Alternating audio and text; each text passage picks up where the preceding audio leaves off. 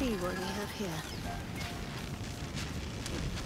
Something's amiss with that. You approach the sigil on the stone.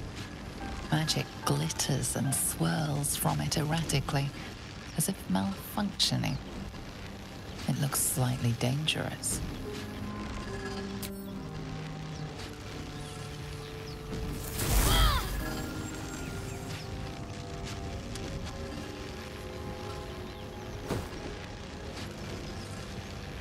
Hand?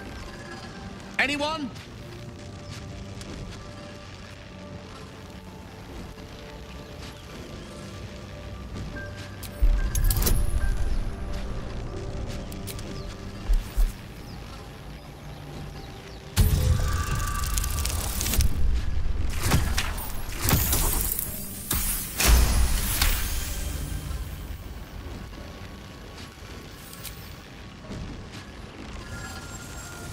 Whatever you're doing is working wonders.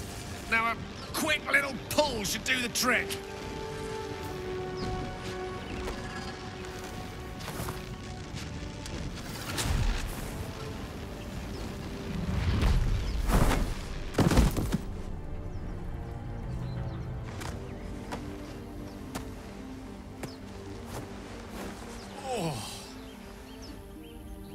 Hello. I'm Gale of Waterdeep. Apologies. I'm Usually better at this.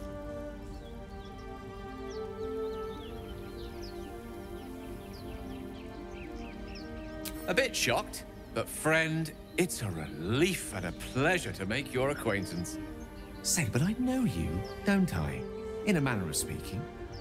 You were on the Nautiloid as well.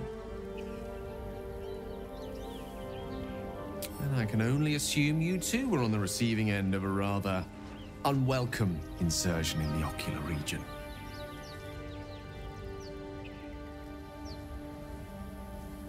No use sugarcoating it, is there?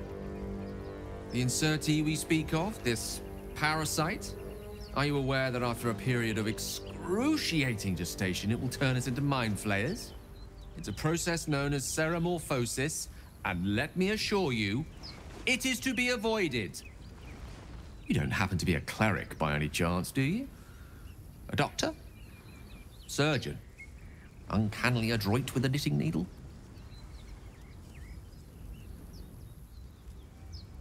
I suppose few enough can. Not exactly a common affliction. We're most certainly going to need a healer, and soon, too. How about we lend each other a helping hand once more and look for a healer together? Most excellent. A parasite shared is a parasite halved. Or something to that effect. Oh, but before you think you're about to embark on a journey with most ill-mannered a man, thank you for pulling me out of that stone. It was an act of foresighted kindness, I assure you.